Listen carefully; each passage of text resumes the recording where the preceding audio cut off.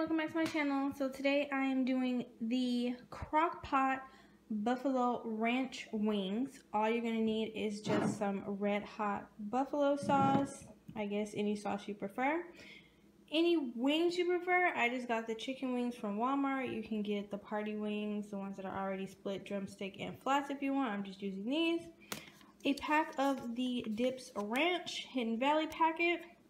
Some Creole seasoning and my crock pot. So let's get started. So the first thing I'm gonna do is add seasoning to my chicken. Okay, the chicken and seasoning. Seasoning, seasoning. Seasoning is optional. You can use it, you cannot use it because I know that the ranch has flavor in it, but I like to season my chicken. So the next thing you're gonna do is just stick it in your crock pot.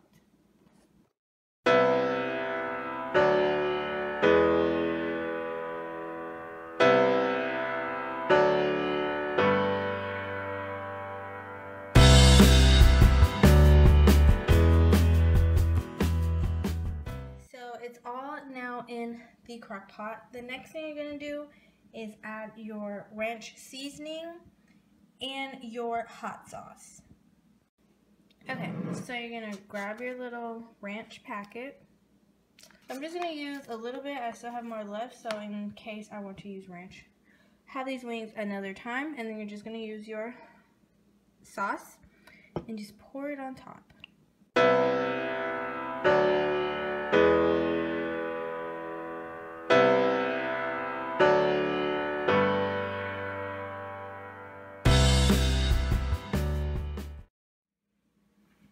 Then once it cooks, you know, like the ranch will dissolve between the sauce and all of that stuff. So yeah, this is how it's gonna look.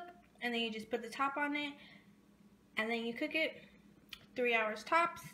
And I will see you guys later. Okay, so basically this is how it's going to look. So this is how the chicken looks. You see it has the seasoning and the ranch is just how it's gonna look.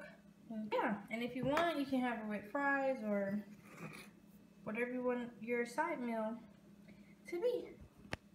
So yep, if you like this video, give it a thumbs up, and I will see you guys in my next video. Bye guys.